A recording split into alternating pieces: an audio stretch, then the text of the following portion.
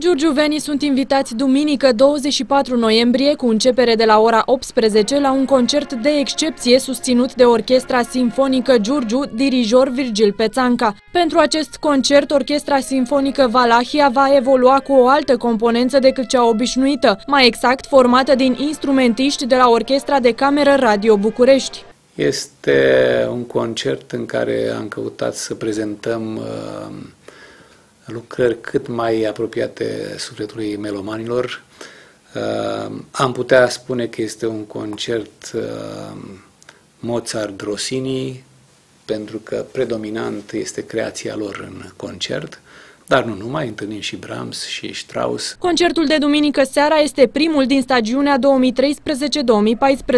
În cadrul evenimentului vor predomina creațiile a doi compozitori celebri. Timp de vreo doi ani am, la noi a concertat uh, o orchestră simfonică realizată pe uh, structura filarmonicii George Enescu.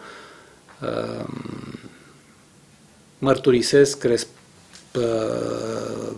crezând și sperând într-un buget care să asigure o permanență a acestei activități.